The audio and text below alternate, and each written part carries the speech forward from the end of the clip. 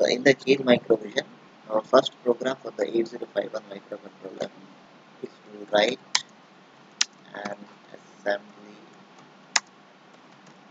language program. To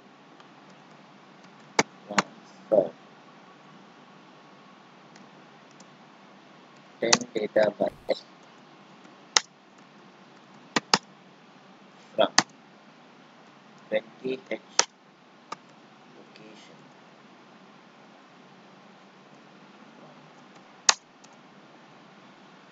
From 20H location. To uh, 40H location in the internal RAM.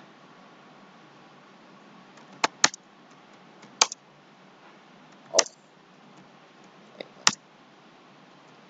So this is a question.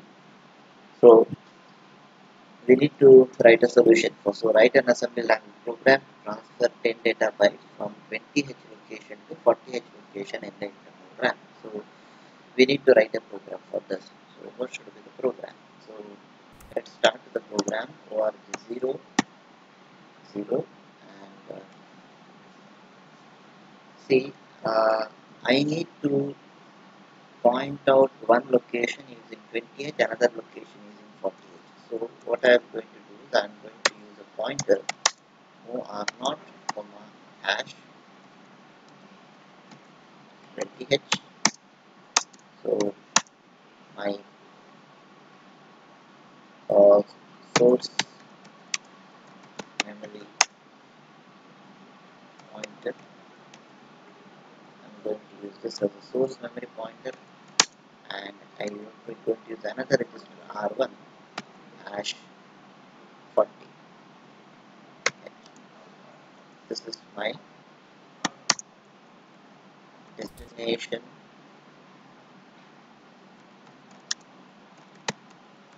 Memory pointer. So only R0 and R1 I can use it here. Okay? Not other than this R0 and R1 so now I need a counter for this. So let's take R3 as a counter hash 10 as a counter. So this is so the count for the number to be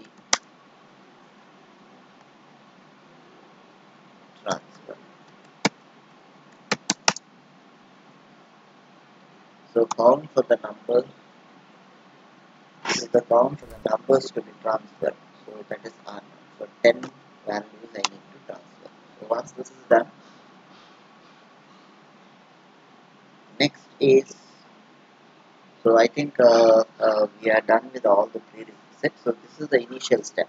So you need to uh, load the registers and uh, this is a register addressing mode. Yeah, sorry the immediate addressing mode where I'm loading a 20h value to R0 because I want this memory to be pointed by R0 and another is 40h is loaded immediately to R1 and again a memory to be pointed by R1 so I cannot use any other registers other than R0 and R1 I can't use R2 I can't use R3 for this purpose. So if you are using for a memory indirect pointer then it has to be R0 and R1 so R3 is again I can choose anything in here for 10 just a loop counting uh, as a counter.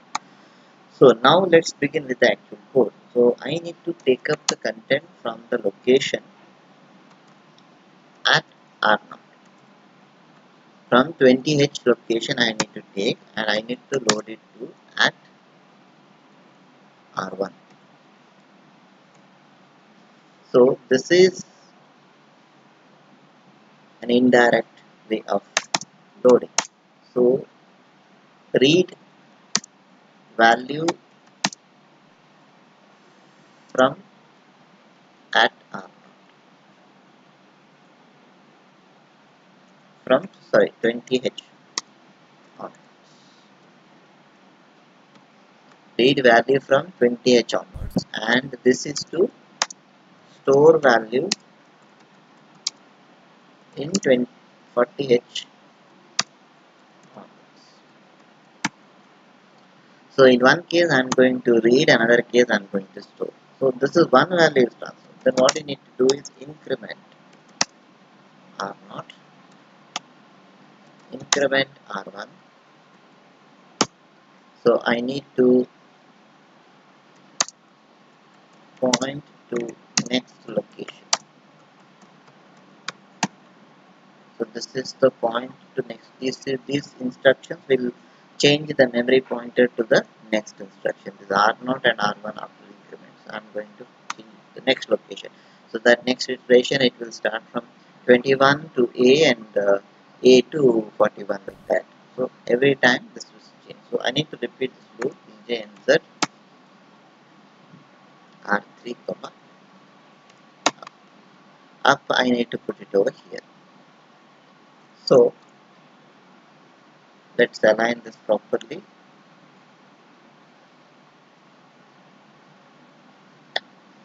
So this is the actual coding.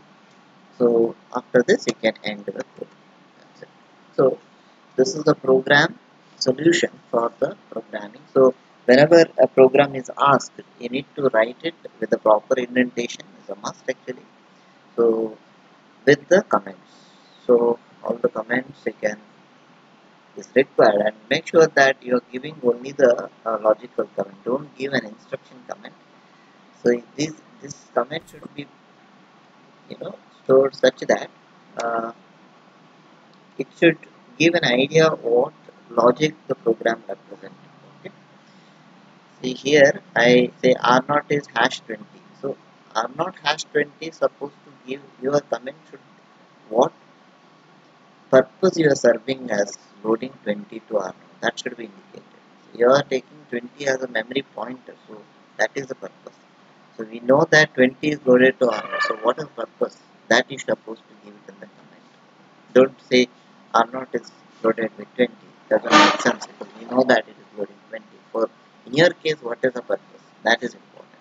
We can still elaborate this much. Okay. So this is the basic program. So once you save this code, just add it to the source group here. Add it to source group. Uh, you can select that file. This is asm file. The name is uh, data. Yeah it's here. So data added so it's added there. So now this can be compiled. So i will compile this. So so you will get here uh, zero error warning so that's done so now I'm going to debug this code. I'm going to simulate this code. So go to the start stop debug session. I will move to the debug session. See here. Now let's see what and all there in the locations are not 20 and 40. I need to save something in the 20. So it's an internal data memory. So i colon 0x20. I need to save something so I need to edit the value here. So I will edit it as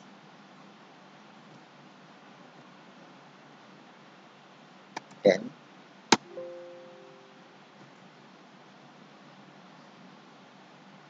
Twenty. Thirty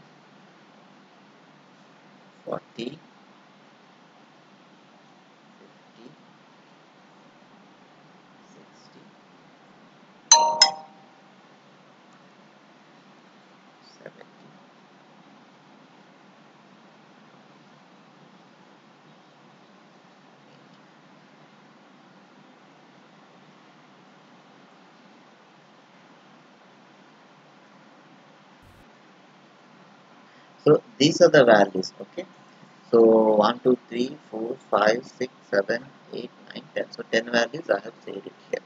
So these values are here in this uh, memory location. I need to execute. So let me check it what is there in 40h locations. So 40h nothing is there. So according to the program, my 20h content will be loaded to 40h content. So this is internal RAM 20h. This is the value. These are the values. So these values will be loaded to 40h. So let's run the code in a single step I will show you how exactly this works so let's go through here single step execution see first is R0 is see here 20 is loaded next R1 is 40 then R3 is A 0A then the first content is taken to accumulator as you can see here see accumulator becomes 10 because at R0 10 is there that 10 comes here.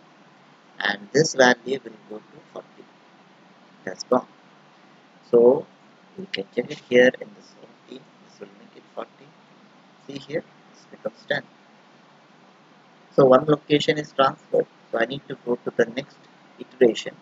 After incrementing these pointers you see here the R0 and R1 will change.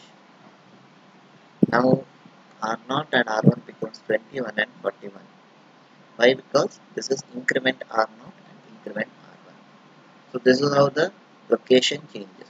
And this increment now this instruction if I run it straight away so I can simply debug and I will run the entire code. So that now you see the 40H location contains all the data which is copied from 20 to 40 so this is how these instructions are used to write the program. Okay? So this is a simple data transfer instruction that I can demonstrate using see which are the instructions which I have used here is uh, we have used uh, some of the immediate instructions and uh, indirect instructions. Here these are indirect data transfer instructions and I have used one simple arithmetic increment instruction and there is a one important thing DJNZ see what is the functionality of DJNZ instruction? DJNZ instruction actually it decrements the R3 until it becomes 0 and it until it increments 0 it will keep on looping to the location specify so r0 is initially 0a it decrements by 1 it is not 0 so it goes to the up so this is how it decrements. This is how it works okay this is a kind of a loop instruction so these are all some details about the the programming of a data transfer instruction so I think uh, we can move back to the editor window. So now we are back into the editor window. So this is the solution for a 10 data bytes to be loaded from 20 to 30